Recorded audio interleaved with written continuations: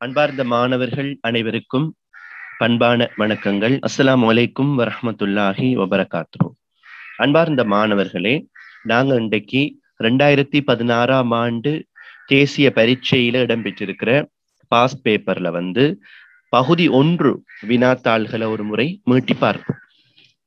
அன்பார்ந்த மாணவர்களே சித்திரக்கலையை பொறுத்த வரைக்கும் உங்களுடைய ஏ தர புள்ளியை தீர்மானிக்கிறதுல மிக முக்கியமான ஒரு பகுதியா இந்த தியரி பார்ட் அதாவது நோட்ஸ் பகுதி காணப்படும்.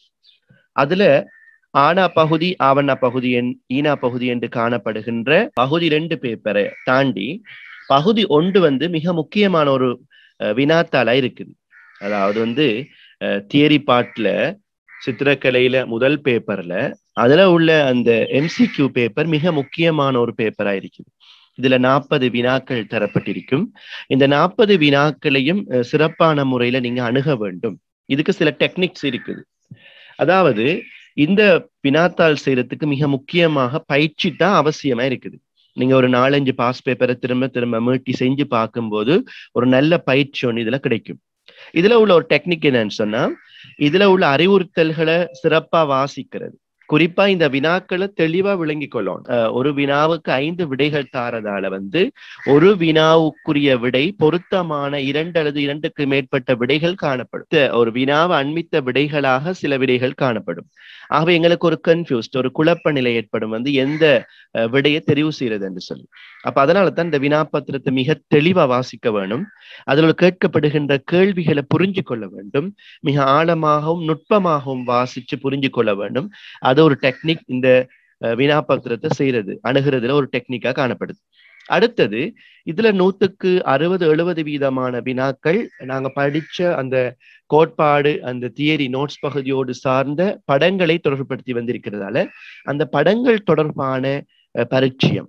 அந்த படங்களை இனங்காணுதல் அந்த படங்கள் தொடர்பான ஐந்து அல்லது ஆறு சுட்டிப்பான விஷயங்களை நாங்க தெரிஞ்சு வச்சோம் என்று சொன்னால் இந்த விடை இந்த வினா பேப்பரை மிக இலகுவான முறையில அணுகலாம். அப்ப முதலாவது வந்து இந்த வினாபத்திரத்தை மிக தெளிவாகவும் நுட்பமாக வாசிக்க வேணும். அதுல உள்ள வினாக்களை மிக மிக நுட்பமாக வாசிச்சு விளங்கி கொள்ள வேண்டும் விளக்கத்தோட வாசிக்க வேண்டும். அடுத்தது வந்து இதுல உள்ள படங்கள் தொடர்பான அறிமுகம் பயிற்சி அனுபவம் பரிச்சயம் எங்களுக்கு தேவையா காணப்படுது. ஆகவே நீங்க நோட்ஸ் பகுதிகளை படிக்கின்ற பொழுது படங்களோடு ஒப்பிட்டு பார்த்து படிப்பது மிக சிறப்பாக காணப்படும். இப்ப இந்த பயிற்சி வினாத்தாள செய்யறதுக்கு நிறைய பயிற்சிகள் தேவைன்னு சொன்னேன். அது அடிக்கடி இந்த மாதிரி வினாபத்திரங்களை செஞ்சு பாருங்க. செய்கின்ற பொழுது உங்களுக்கு இயல்பாகவே இந்த பகுதியில கூடுதலான புள்ளிகளை பெறக்கூடியதா இருக்குது. இப்ப இந்த வினாபத்திரத்தை நீங்க பார்த்தீங்கன்னு சொன்ன மாணவர்களை இது சுட்டிப்பான விடை. அதாவது ஸ்பெசிபிக்கான ஒரு விடை. இதுக்கு இரண்டு விடைகள் கிடையாது. இதுல வந்து ஸ்கீம்ல தரப்பட்ட விடைகள் மட்டும்தான் பரீட்சகர்களால ஏற்றுக்கொள்ளப்படுறதால மிக நுணுக்கமாக அவதானமாக நாங்க விடையளிக்க வேண்டும். ஏன்று சொன்னா எங்களுடைய ஏ தர பகுதியை தீர்மானிக்கின்ற புள்ளியை கொண்ட பகுதியாக இது காணப்படுறதால நாற்பது வினாக்கள் தான் வழங்கப்படுது. ஆகவே மிக நுட்பமாகவும் அவதானமாகவும் நீங்க என்ன செய்ய வேண்டும் என்று சொன்னா விடையளிக்க போக வேண்டும். அடுத்தது வந்து இந்த வினா பத்திரத்திலேயே நாங்க விடைகளை எழுதி கொடுக்கறதால. அதாவது இந்த வினா பத்திரத்தை அணுகிறதுக்கு உங்களுக்கு கேஜஸ் வழங்கப்பட மாட்டாது. ஏன்னா அதாவது கேஜஸ் வழங்கப்படாததால இந்த வினா பத்திரத்துல தான் நீங்க விடை எழுத வேண்டும் ஆகவே நீங்க அவசரப்படாம நீங்க பென்சிலால நீங்க முதல்ல என்ன செய்யலாம் என்று சொன்னா அதை செஞ்சு பார்க்கலாம். அதாவது இறுதிப்படுத்துகின்ற பொழுது ஃபைனலைஸ் பண்ணுகின்ற பொழுதுதான் நீங்க பேனையை யூஸ் பண்ண வேண்டும். மிக தெளிவான இலக்கங்களை அதுல கோட்ல இட வேண்டும் என்பதை நான் தாழ்மையா சொல்லிக்கொள்ள ஆசைப்படுறேன். ஆகவே சித்திரக்கலை பகுதியில பார்ட் ஒன் பேப்பர் இருக்குது. தியரிய பகுதியை கொண்டது. அதாவது நாங்க படிக்கிற சித்திரக்கலை நோட்ஸோட தொடர்பட்ட பகுதியில வெற்றியை தீர்மானிக்கிறது. ஏய தீர்மானிக்கிற ஒரு பகுதியா பார்ட் ஒன் இருக்குது. அதுல எம்சிக்யூ பகுதி நாற்பது வினாக்கள் காணப்படுது அப்படின்ற ஒரு விஷயத்த சொல்லியிருந்தேன். அந்த நாற்பது வினாவை மிக சிறப்பான முறையில கையாளுறதுக்கு நல்ல பயிற்சி அவசியம் என்று சொல்லியிருந்தேன். மிக அவதானமாக வாசிங்க. எப்படி என்று சொன்னால் இதுல காட்டப்பட்டிருக்கிறது முழு பதிப்புடைமை உரியது. என்ற அந்த விஷயத்துல இருந்து நீங்க அப்படி மேலோட்டமாக வாசிச்சு கொண்டே போக வேண்டும். முதலாவது வாசிக்கிறதுக்கு ஒரு ஒரு அஞ்சு அல்லது பத்து நிமிடத்தை எடுத்துக்கொள்ளுங்க அதுக்கு பிறகு தெரிஞ்ச விஷயங்களை மிக முன்னைப்பாக கொடுத்துட்டு முதல் விஷயத்த அதாவது முன்னுரிமை கொடுத்துட்டு தெரியாத விஷயங்கள் தொடர்பாக நீங்க யோசிச்சு சிந்திச்சு அல்லது நினைவுபடுத்தி எழுதுறது மிக பொருத்தமாக இருக்கும். ஆகவே முதலாவது நீங்க பென்சிலை பயன்படுத்தி கொள்ளுங்க. அதுக்கு பிறகு இறுதிப்படுத்துறதுக்காக நீங்க பேனைய பயன்படுத்தி கொள்ளலாம். அப்ப அந்த வகையில நாங்க இப்ப பாஸ் பேப்பருக்குள்ள போவோம். இது வாசிப்போம். இது ரெண்டாயிரத்தி பதினாறாம் ஆண்டு ஏலபல் பரீட்சைக்காக வந்த ஒரு வினாத்தாள். உங்களோட உங்களுக்கு தெரியும் இந்த வினாத்தாளுடைய இலக்கம் வந்து ஐம்பத்தி ஒன்று. என்ன?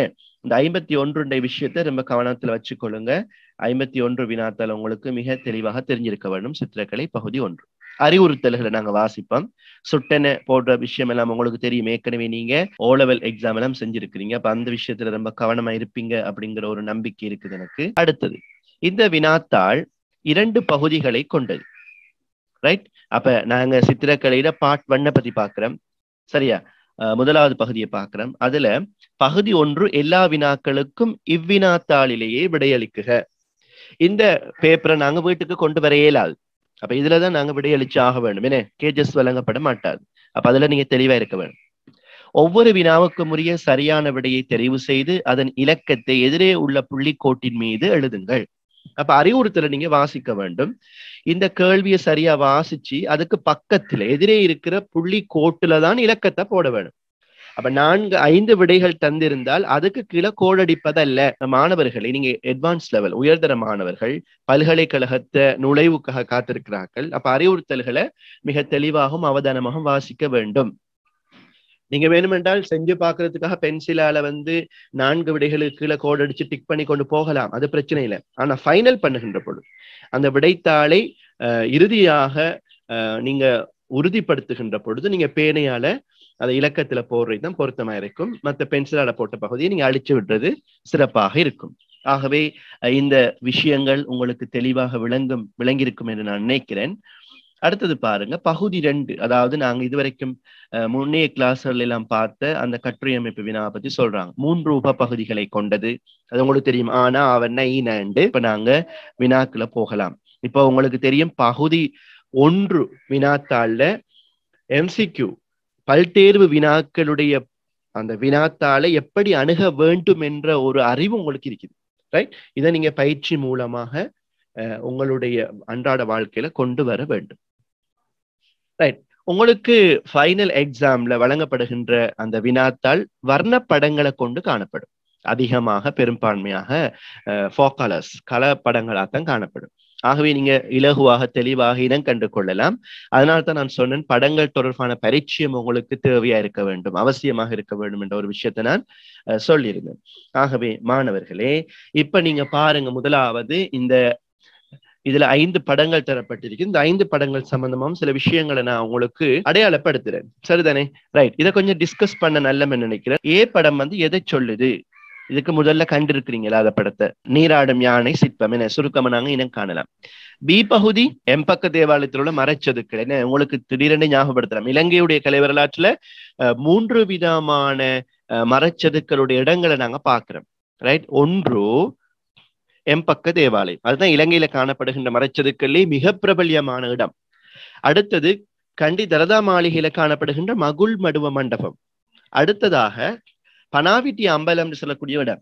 இந்த மூன்று இடங்கள்லையும் காணப்படுகின்ற மரச்சதுக்கல்கள்ல மிக முன்னேற்றகரமான மரச்சதுக்கல்களாக நாங்க எம்பக்க தேவாலயத்தை பாக்குறோம் அந்த அளவுக்கு சிறு தாழ் புடைப்பு நுட்ப முறையில என நாயக்க பாணியை தழுவி மிக நேர்த்தியாக நுணுக்கமான மெல்லிய வேலைப்பாடுகளை கொண்டு அந்த சிதுக்கல்கள் செய்யப்பட்டிருக்கும். அப்ப இந்த படத்துல தெளிவா விளங்குது உங்களுக்கு. நான் அதுல வேற படங்களையும் காட்டணும். உங்களுக்கு வித்தியாசத்தை விளங்கி கொள்ளலாம். அடுத்தது உங்களுக்கு தெரியும். சி என்ற படம். கிரேக்க தூண்களை பத்தி நீங்க ஞாபகம் இருக்கும் உங்களுக்கு? கிரேக்க கட்டடக்கலையில மிக முக்கியமான ஒரு விஷயம் அங்க காணப்படுகின்ற தூண்கள். அதுல டொரிக் சொல்லக்கூடிய ஒரு தூண் அமைப்பை பற்றி நீங்க கேள்விப்பட்டிருப்பீங்க. அயோனிக் சொல்லக்கூடிய ஒரு தூண் அமைப்பை பற்றி கேள்விப்பட்டிருப்பீங்க. கொருந்தி என்று சொல்லக்கூடிய ஒரு தூண் அமைப்பை பற்றி கேள்விப்பட்டிருப்பீங்க. இது அந்த கொருந்தியன் சார்ந்த ஒரு படைப்பு. டி என்ற படத்துக்கு நீங்க போனீங்கன்னு சொன்னா அதுல மனித உருவங்கள் ஒரு சற்று மேலிருந்து அரைப்பிடிப்பாக செதுக்கப்பட்டு இது ஒரு போராட்டத்தை காட்டுது. நேரடியா பார்த்தா அதான் விளங்குது உங்களுக்கு என்ன? ஆனா அது வந்து இந்தியாவுல காணப்படுகின்ற ஒரு சிற்பம். அதாவது வந்து உங்களுக்கு தெரியும் மாமல்லபுரத்துல காணப்படுகின்ற ஒரு சிற்பமாக காணப்படும். அடுத்ததும் ஒரு இந்தியாவுல காணப்படுகின்ற ஒரு புடைப்பு சிற்பம் பௌத்த கலை வரலாற்றோடு தொடர்பட்ட ஒரு சிற்பம். ரைட் இந்த அறிவோட நாங்க முதலாவது வினா அணுகலாம். முதலாவது வினா ஏ எழுத்தினால் காட்டப்பட்டுள்ள செதுக்கல் காண கிடைப்பது. ஏ எழுத்தினால் காணப்பட்டுள்ள. முதலாவது உங்களுக்கு சொலிடா விட தெரிஞ்சா முதல்ல அஞ்சு விடையும் நீங்க வாசிக்க வேண்டும். ரைட் அஞ்சு விடையும் வாசிக்க வேண்டும். ஒரு விட ஒரு விடையோடு தொடர்பானதாக நெருக்கமானதாக காணப்படும். அதுல மிக சரியான விடையை தான் நீங்க தெரிவு செய்ய வேண்டும். அப்ப இது உங்களுக்கு ஒரு தர்ம சங்கடமான ஒரு இக்கட்டான ஒரு நிலையா காணப்படும். ஆகவே நீங்க குடும்ப தேவையில முதலாவது அப்படி ஒரு சுச்சுவேஷன் உங்களுக்கு வந்தது என்று சொன்னா முதலாவது உங்களுக்கு அந்த வாசிக்கின்ற பொழுது மிக துல்லியமாகவே சுட்டிப்பாகவே இதுக்குரிய விடை எங்களுக்கு தெரியும் சொன்னா நாங்க அதுக்கு நேரடியாகவே நாங்க அதை விடையளிக்கலாம்.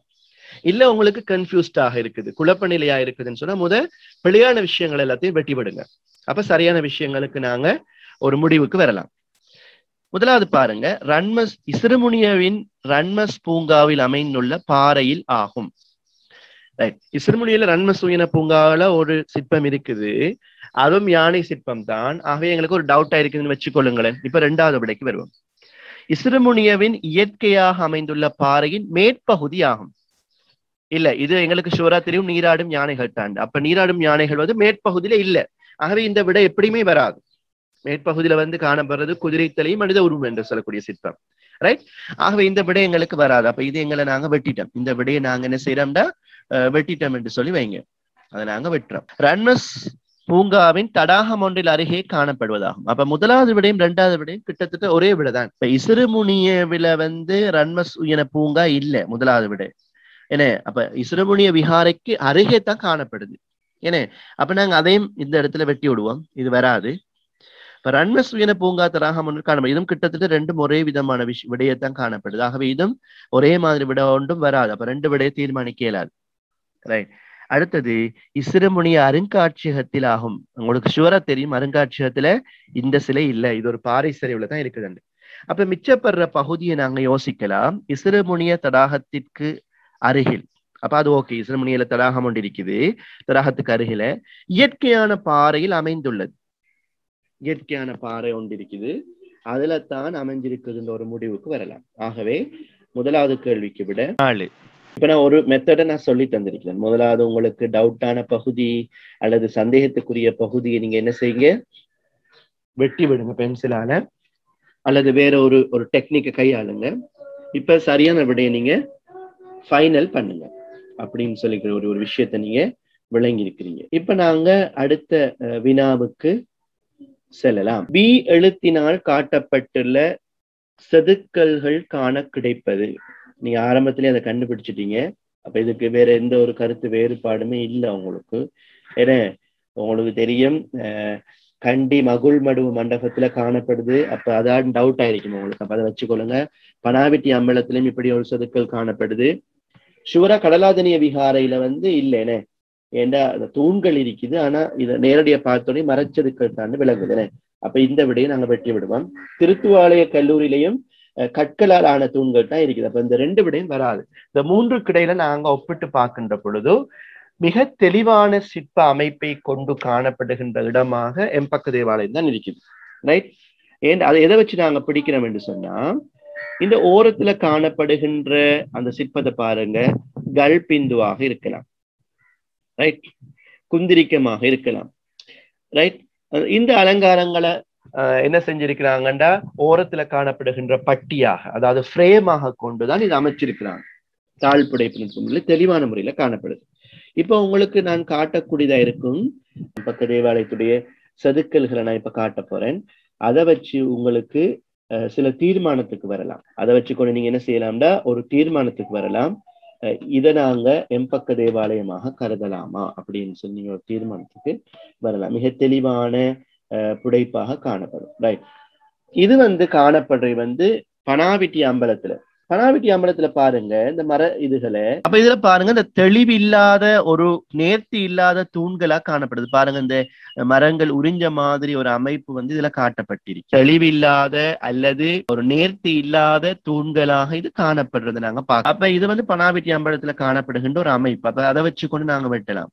அடுத்தது பனாவிட்டி அம்பலத்துல காணப்படுகின்ற செதுக்கல்கள்ல வந்து அரும்புண்ட ஒரு செதுக்கல்களை நாங்க ஒரே இதுல பார்க்க முடியாம இருக்குது. இதுல மட்டும் அரும்பு இருக்குது இதுல வந்து குந்திரிக்கம் இருக்குது அரும்பு இல்லை ரைட் இங்க பாருங்க இந்த உடைஞ்ச ஒரு பாதுகாப்பற்ற முறையில காணப்படுகின்ற அஹ் ஆழமற்ற செதுக்கல்கள் தான் இதுல காணப்படுது. ஆகவே பனாபிட்டி அம்பலம் இல்லைங்கிற ஒரு விஷயம் வந்து உங்களுக்கு தெரியும் இதை வச்சுக்கொண்டு நீங்க இலகுவான முறையில விட இருக்கலாம் இப்ப பாருங்க எம்பக்க தேவாலயத்துடைய செதுக்கல்கள் அந்த செதுக்கல்களோட மிக அற்புதமாக ஒத்து போகுது குறிப்பாக நான் சொன்னது போல சதுர பரப்புக்குள்ள அதாவது நீள் சதுர பரப்புக்குள்ள வந்து அதை அமைக்கிறதுக்காக வேண்டி ஓரத்துல அரும்பு குந்திரிக்கம் போன்ற அமைப்புகளை மிக ஆழமாக வெட்டி சிறப்பான முறையில காட்டுறதுக்கான ஒரு முயற்சியாக காட்டப்படுது.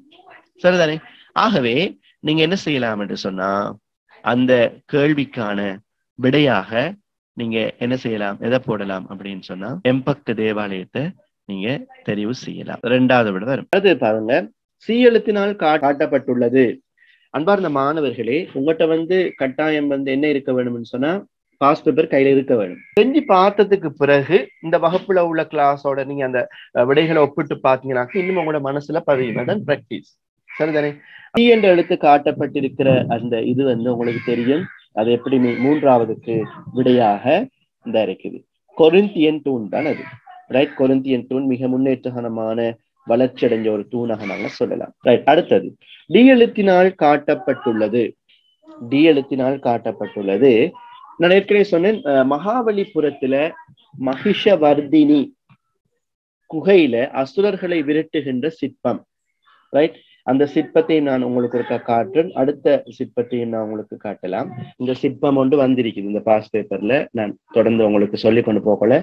ஞாபகம் வச்சுக்கோங்க. நான் திரும்ப காட்ட மாட்டேன் இந்த படம். இதுல பகுதி ஒன்று வந்திருக்குது உங்களோட பாஸ் பேப்பர்ல ஆகவே நாலாவது வினாவுக்கான விடையாக நாங்க ரெண்டாவது விடை எடுத்துக்கொள்ளலாம் நாலாவது வினாவுக்கான விடையாக நாங்க ரெண்டாவது விடை எடுத்துக்கொள்ளலாம் அடுத்தது இதுல மாறி மாறி இருக்குது பேப்பர் அஞ்சாவது வினாவுக்கு நாங்க போகலாம். அஞ்சாவது வினா தான் இருக்குது. இயன்ற எழுத்தினால் காட்டப்பட்டுள்ள சாஞ்சி சிற்பத்தில் சித்தரிக்கப்படுவது. ரைட் அஞ்சாவது வினாவுக்கான விடை உண்டு ஜஸ்டில தமனைய. இந்த இருக்கு. ஜஸ்டில தமனையன் சொல்லக்கூடிய ஒரு சிற்பம் தான் அதுல காட்டப்பட்டிருக்குது. ஆகவே நான் இதுக்கு நான் இதை தெரிவு செய்கிறேன். முதலாவது விடையாக இது வரும். இப்ப அடுத்தது வினா உங்களுக்கு இலகுவான வினாவாக இருக்கும் நினைக்கிறேன் நான். ஆறாவது வினாவை நீங்க வாசிங்க. ஆறு துறக்கம் பத்து வரையான ஒவ்வொரு வினாவுக்கும் மிக பொருத்தமான விடையை தெரிவு செய்க. கருத்து வெளிப்பாட்டு சித்திரம் ஒன்று ஒன்றை அறிமுகப்படுத்துவதற்கு மிக பொருத்தமான கூற்று. கருத்து வெளிப்பாட்டு சித்திரம் என்றால் என்ன? ஏதாவது ஒரு கருத்தை வெளிப்படுத்தி வரைகின்ற சித்திரம். அதுக்கு நாங்க கம்பசிஷன் ஆர்ட் சொல்லுவோம். ஏண்டா? அதுல வந்து நிறைய ஒரு விஷயத்த ஒழுங்கு ஒருங்கிணைக்கின்றோம். உதாரணமாக பெண்கள் ஆற்றங்கரையிலே குளிக்கின்ற காட்சி என்று சொல்லுகின்ற பொழுது ஒரு இயற்கை லேண்ட்ஸ்கேப்பிங்க கொண்டு வரோம். ஒரு குளத்தங் கரை அதுல நிறைய பெரிய மரங்கள் தூரத்துல அடர்ந்த மரங்கள் இல்ல பறவைகள் என அதே நேரத்துல நீரோடைகள் அப்படி வருது. அப்புறம் முன்னால் இருக்கிற பெரிய பெண் உடை துணி துவைப்பது போல தூரத்துல சில பெண்கள் நீரை அடித்து விளையாடுவதை போல சில பெண்கள் வந்து குளிப்பதை போல சோப் தேய்ப்பதை போலன்னு சொல்லி பல விஷயங்களை நாம அதுல ஒன்று சேர்க்கிறோம். அது சிங்களத்துல சங்கரச்சனைன்னு சொல்லுவாங்க. ஏன்னா அதாவது கம்போஸ்ட் பண்றோம். நிறைய விஷயங்களை கொண்டு அதுல வந்து ஒன்று சேர்த்து ஒரு கருத்து வெளிப்பாட்டை நாங்க சொல்றோம். ரைட் அப்ப அதே மாதிரி இன்னும் ஒரு ஒரு தலைப்பு நாங்க எடுத்துக்கொள்ளலாம். உதாரணமா காட்டுல வந்து அஹ் யானை கூட்டமாக செல்லுகின்ற யானைகள். அப்ப அடர்ந்த காடு தூரத்துல உள்ள மான்கள் அப்படி ஓடுறது போல முன்னணியில பெரிய யானை சின்ன யானை குட்டி யானை எல்லாம் வந்து அப்படி விளையாட்டு தன்மையாக கூட்டமாக வாரது போல சில யானைகள் தும்பிக்கையை தூக்கி கொண்டு சில யானைகள் தும்பிக்கையை அப்படி கீழே போட்டுக்கொண்டு அப்ப இதை நாங்க காம்பசிஷன் ஆர்ட் கருத்து வெளிப்பாட்டு சித்திரம் என்று சொல்றோம். இப்படி ஒரு சித்திரத்துக்கு மிக பொருத்தமான கூற்று எது அப்படி என்று சொல்லி கேட்கிறாங்க அப்ப ஆறாவதுக்கான விடையாக நாங்க பாருங்க. இதுல மிக பொருத்தமா இருக்குது. ஏதேனும் ஒரு கருப்பொருளை நான் சொன்னேன் ஏதாவது ஒரு விஷயத்தை கன்செப்ட உணர்வு பூர்வமாகவும் ரசனைக்குரியதாகவும் அதுல வருகின்ற கதாபாத்திரங்கள் அது மிருகம்டா மிருகங்களுடைய இயல்புகளை எடுத்து காட்டணும். மனிதர்கள்டா மனிதர்களுடைய சுபாவங்களை வெளிப்படுத்தணும். சிறிய சின்ன பிள்ளைகளா அதுல வேற பெரிய ஆக்களா இளமையன் ஆக்களா அது வயது போனவர்களா அப்ப உடல் தோற்றங்கள்ல அவங்கள காணப்படுகின்ற ஃபீலிங்ஸ் பாவங்கள். பாவம் சொல்ற உதாரணமா ஒரு துக்ககரமான நிகழ்வுன்னு சொன்னா சோகமயமாக காட்டப்பட்டிருக்கும்.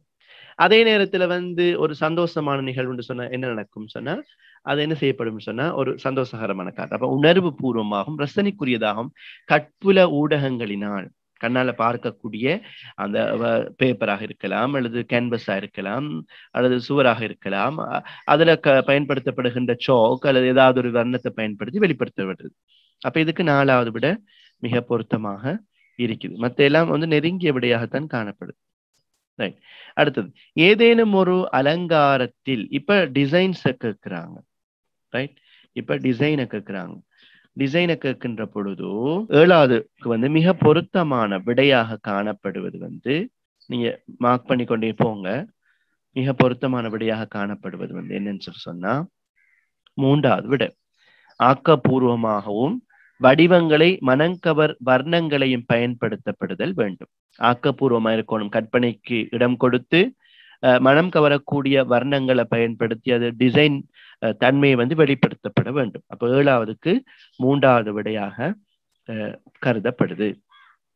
ரைட் அடுத்தது. அடுத்தது பாருங்க. எட்டாவது வினாவாக காணப்படுது.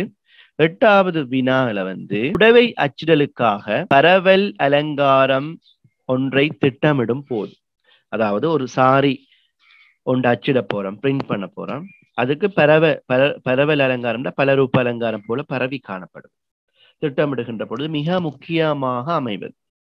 ரைட் மிக முக்கியமாக என்ன அமையலாம் அப்படி என்று சொல்லி ஒரு வினா வந்த இடத்துல கேட்டிருக்கிறாங்க. இதுக்கு நீங்க இதெல்லாம் கொஞ்சம் ஈஸியாக கெஸ் பண்ணியே நீங்க எழுதக்கூடிய ஒரு விடையாக காணப்படுது.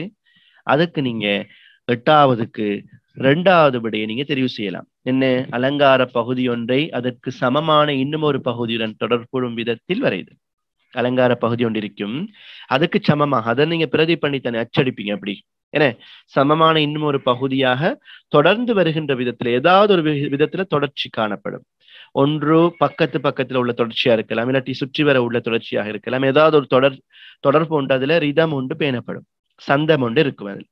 ரைட் அடுத்தது ஒப்ஜெக்ட் பிரெயின் சம்பந்தமான ஒரு கேள்வி கேட்கிறாங்க. ஒன்பதாவது கேள்வி அசையா பொருட்கூட்ட சித்திர பயிற்சியின் மூலம் எதிர்பார்க்கப்படுவது.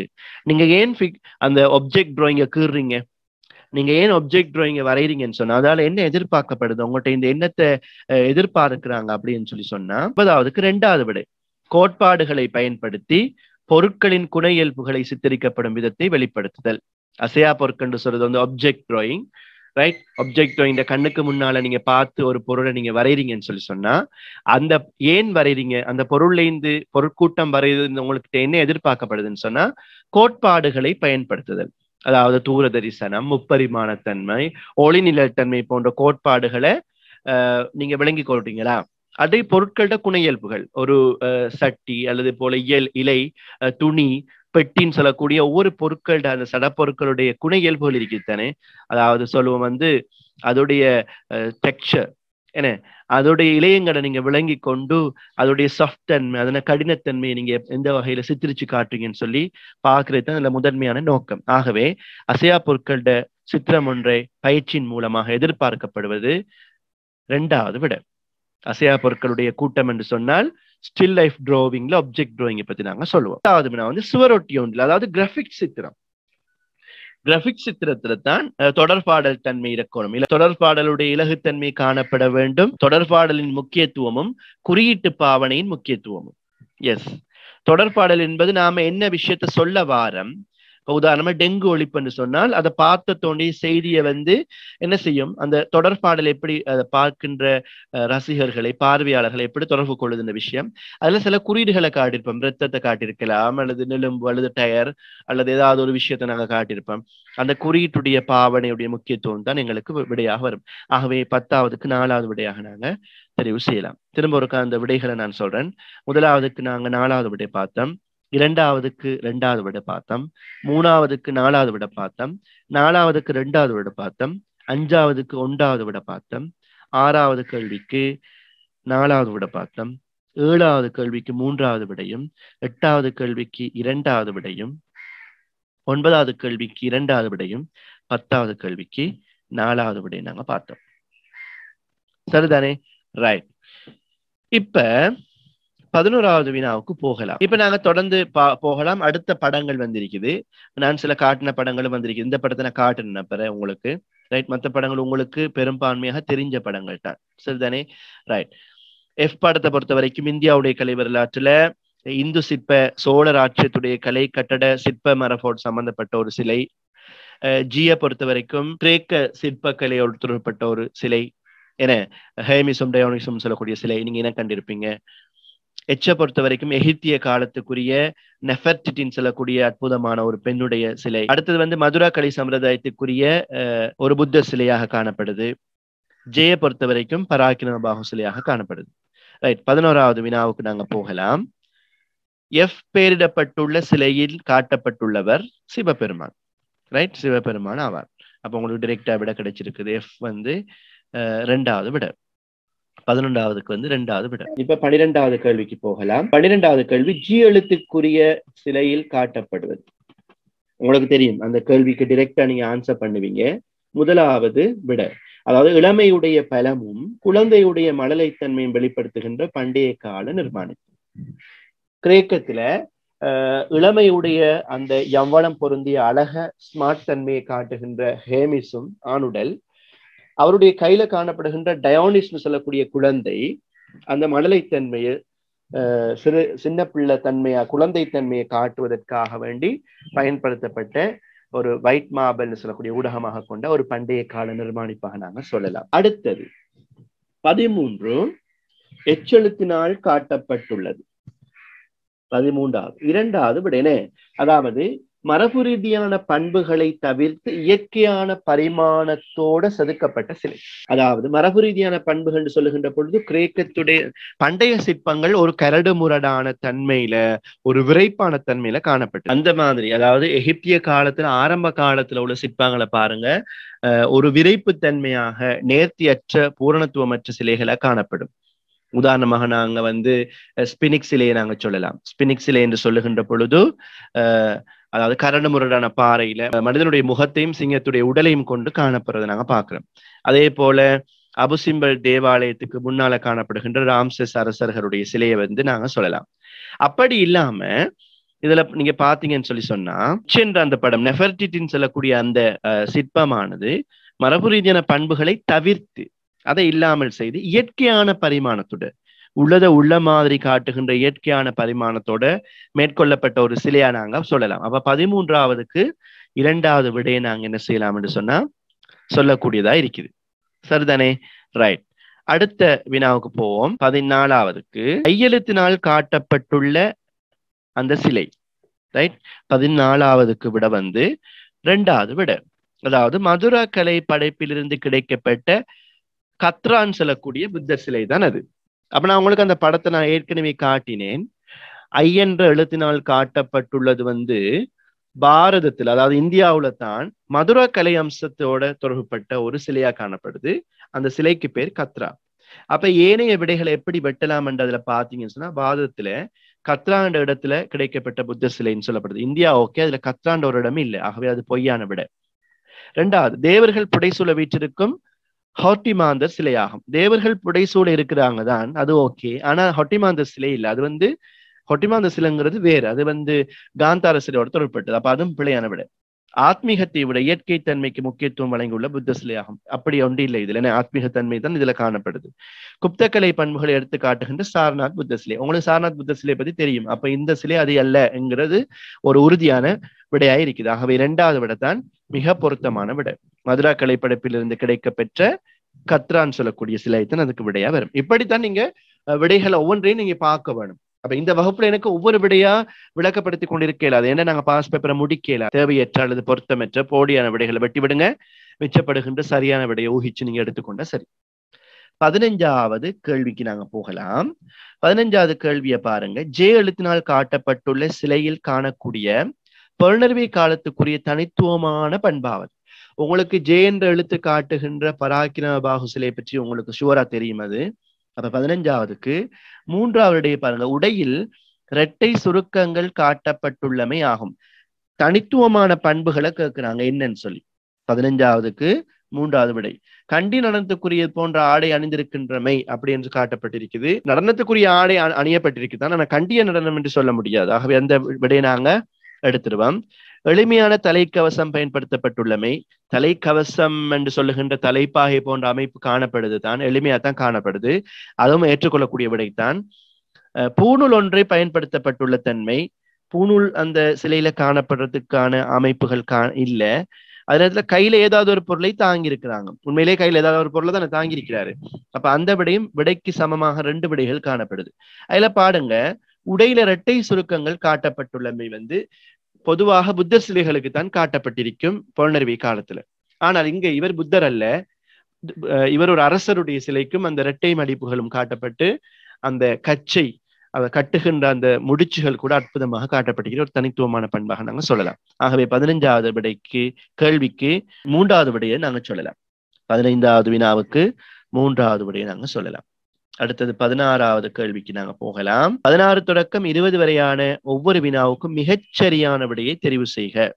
ரைட் பதினாறாவது வினாவை நீங்க வாசிங்க. மேற்கேத்தைய யதார்த்தவாத இயற்கை கலையில் உன்னத நிலையில் காணப்பட்ட காலப்பகுதியில் ஓவியக்கலை உலகில் புரட்சி ஏற்படுத்திய முன்னோடியாக திகழ்ந்தவர்கள் கலைஞர்கள். உங்களுக்கு தெரியும் பத்தொன்பதாம் நூற்றாண்டோட இறுதி பகுதியில வந்து நவீன ஓவிய கொள்கைகள் மேலோங்குகின்ற காலப்பகுதியில அந்த காலத்துல அகாடமிக் ரியாலிசம் சொல்லக்கூடிய அந்த இயற்பண்புவாதம் இயற்கைக்கு முக்கியத்துவம் கொடுத்து உள்ளதை உள்ளபடியே வரைகின்ற அந்த மொனாலிசா ஓவியம் போல அதே மாதிரி டாவின்சியுடைய அந்த உம் பாறைகளில் கண்ணி என்ற ஓவியம் போல மைக்கேல் ஏஞ்சருடைய சிற்பங்களை போல உள்ளதை உள்ளவரையே வரைகின்ற அந்த இயற்பண்புவாதம் காணப்பட்ட காலத்துல வந்து ரைட் ஒரு புரட்சியை முக்கியமாக முதல் முதலாவதாக ஏற்படுத்தியாக்கள் யார் அப்படின்னு சொல்லி சொன்னா முதல் முதலாவதாக ஏற்படுத்தியாக்கள்.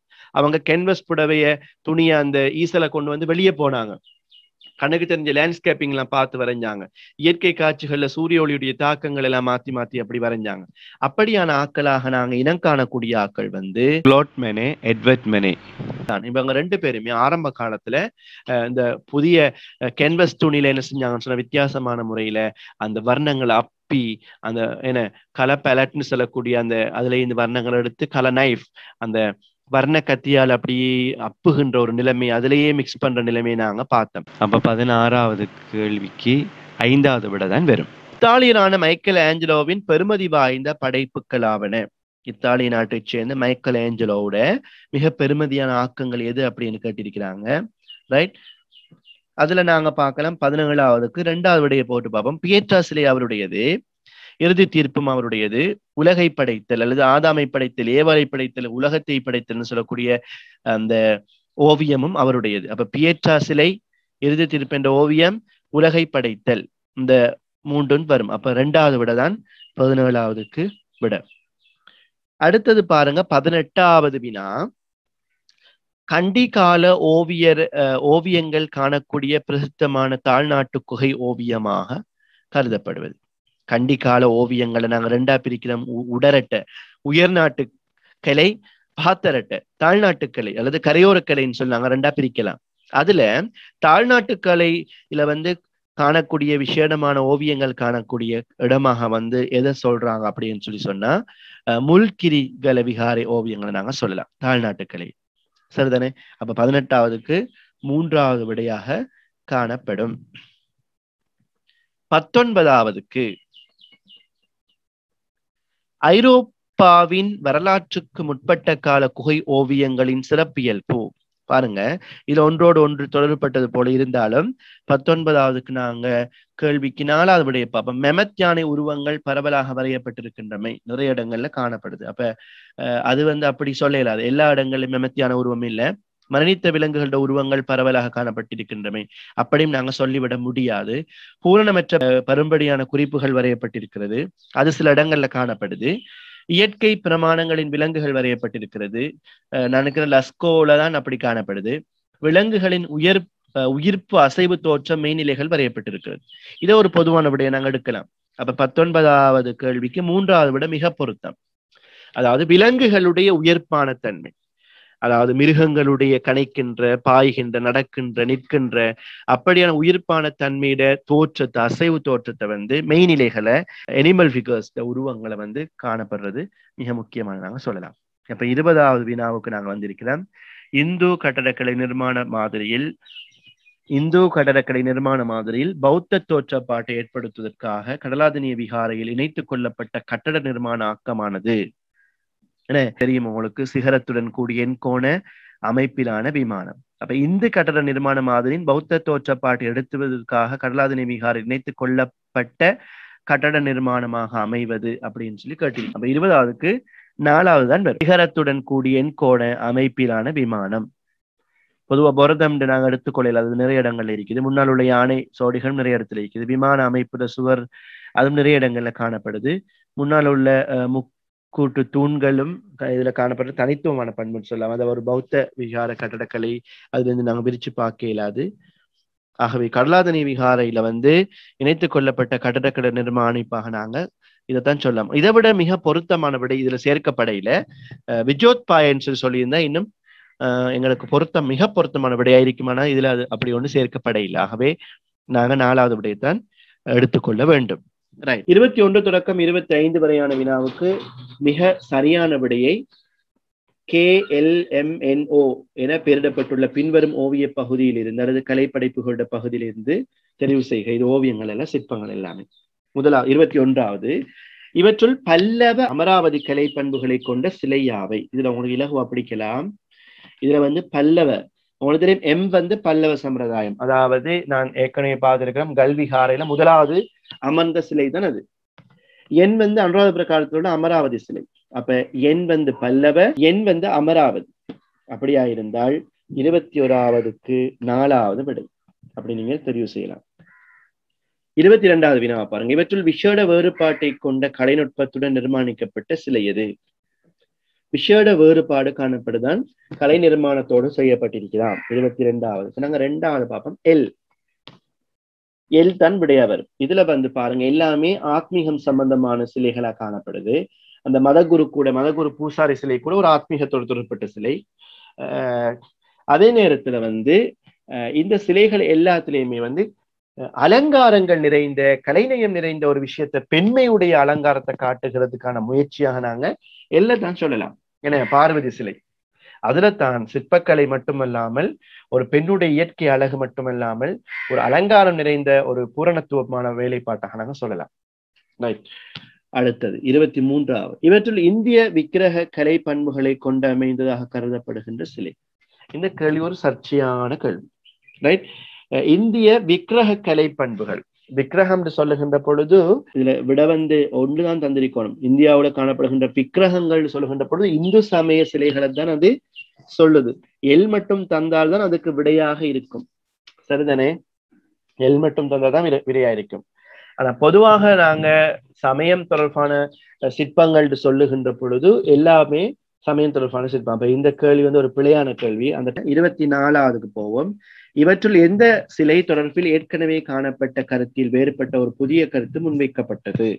இருபத்தி நாலாவது மூன்றாவது விட எம் ரைட் ஏன்னு சொன்னா இத வந்து முதல்ல வந்து சொன்னாங்க வந்து இது வந்து மதுரக்கலை சம்பிரதாயத்துக்குரியது அப்படின்னு சொல்லி. பிறகு சொன்னாங்க அதுல வந்து பின்னால காணப்படுகின்ற அந்த பல்லவ செதுக்கல்கள்ல காணப்படுகின்ற பண்புகள் காணப்படுறதால அதாவது வந்து பல்லவ பாண்டிய பேரரசுக்குரிய சிற்பக்கலையுடைய தாக்கம் இருக்குன்னு சொல்லி ஒரு புதிய கருத்தை வந்து முன் வச்சிருக்கிறாங்க.